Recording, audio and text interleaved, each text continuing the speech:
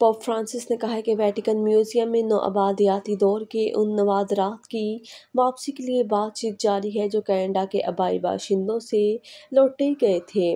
उन्होंने Vatican museum में मौजूद मसाइल पैदा करने वाले दीगर अशिया को भी हर मामले के अलग अलग जायजे की बुनियाद पर वापस करने पर आमादगी ज़ाहिर की है। पोप फ्रांसिस ने हंगरी से वतन जाते हुए इतवार को त्यारे में एक प्रेस कॉन्फ्रेंस के दौरान कहा कि अगर आप कोई चीज़ चोरी करते हैं तो आपको उसे वापस करना होगा।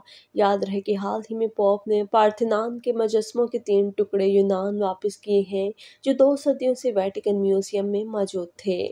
पोप ने कहा है कि इन नवादरात के असल मालिकों को वापस एक दुरुस्त कदम था और जब इस तरह की वापसी मुमकिन हो तो म्यूजियम्स को इसका आगाज़ करना चाहिए।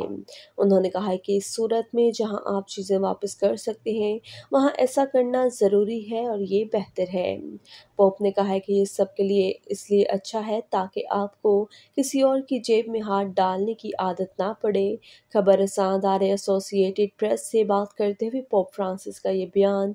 इस सवाल पर उनका पहला तबसरा था, जिसने यूरोप और शुमाली अमरीका के बहुत से अजायब घरों को अपने नस्ली और बशरियाती मजमू का जायज़ा लेने पर मजबूर किया है। नवादरात की वापसी की बहस ने अफ्रीका, अमरीका और एशिया की नौआबादियाती फतूहत और असल ममालिक और बरदरीों की तरफ़ से लौटे हुए नवादरात की वापसी के मुतालबात के दरमियान खासी गर्मा गर्मी इख्तियार कर ली है।